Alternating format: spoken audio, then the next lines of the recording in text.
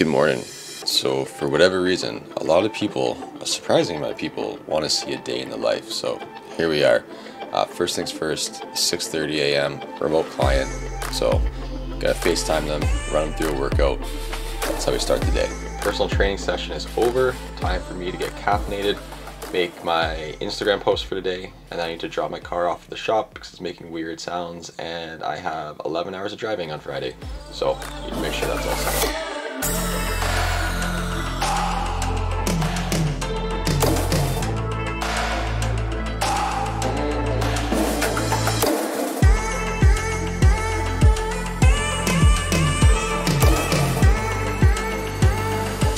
All right, now we gotta get some meal prep before we go work out and coach. Got some chicken, yogurt, some noodles. Um, off my diet since I'm at uh, my parents' house. So with being with being off my diet or just the normal way I eat, I kind of just gotta throw whatever food is available. And that chicken and rice noodles is the is the play today. All right, there's the gear like I said in the unboxing video, I'm putting on my uh, putting on my lower body, doing filming some stuff, some content. So it's gonna be the first time. It's gonna be the first time that I'll put on gear in three years.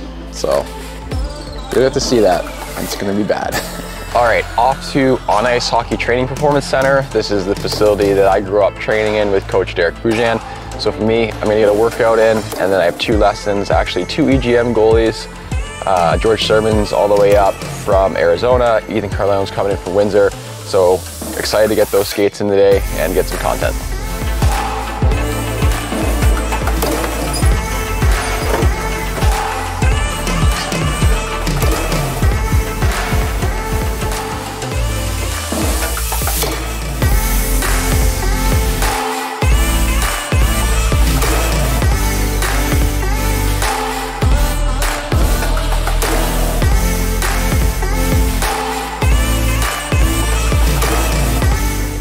All right, time for the first skate of the day. Let's go. And you wanna beat it on your feet, but he shoots it mid-movement. So it's not, you're not opening your toe, it's shuffling into that save. So it also gives you the advantage if say Pete, that one-timer guy, decides to stock up on it, you can hold your feet.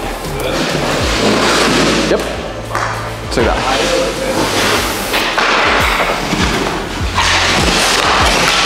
Down early, patience.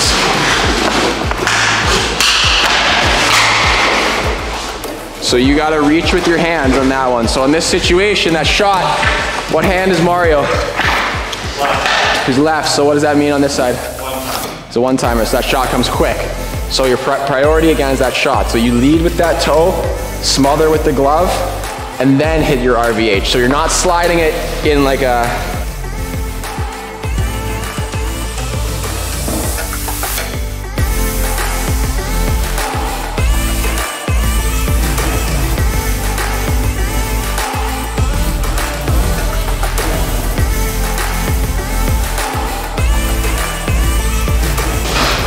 Toe looks fine.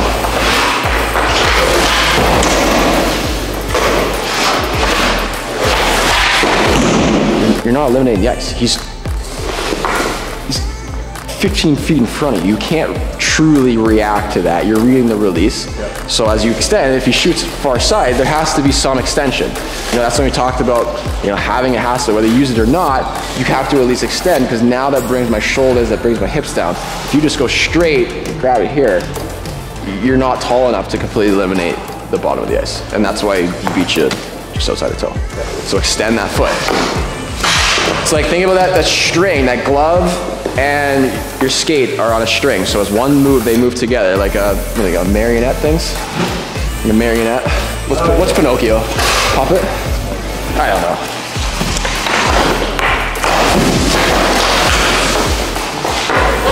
Me too.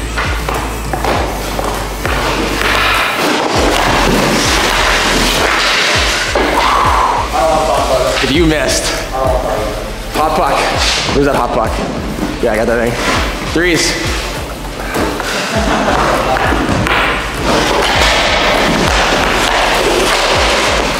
Four, three.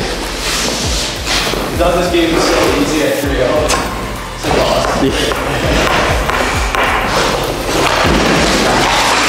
Oh way. Five three.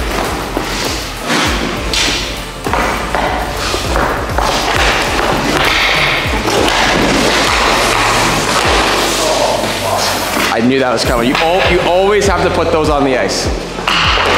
Three years, over three years since I put this on. Oh, here we go. Well, since I wasn't planning on skating ever again, um, I have to wear my player skates because my goalie skates are up at tech and I am back home.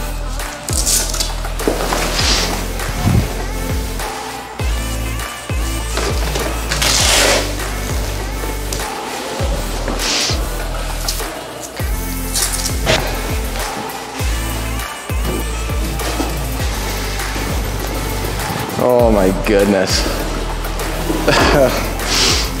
this is wild.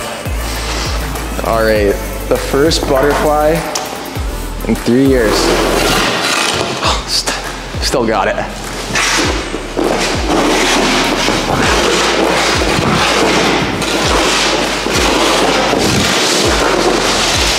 Player skates, not ideal.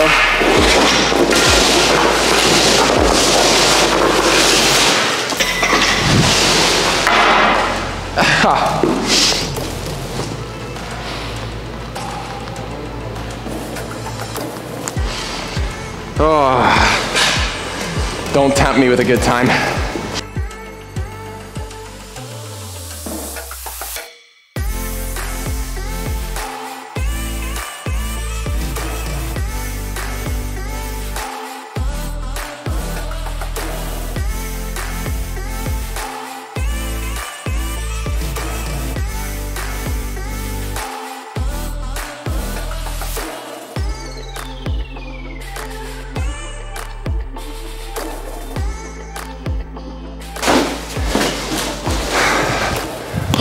Okay, first time on the ice in three years, and I gotta be honest, that felt really weird.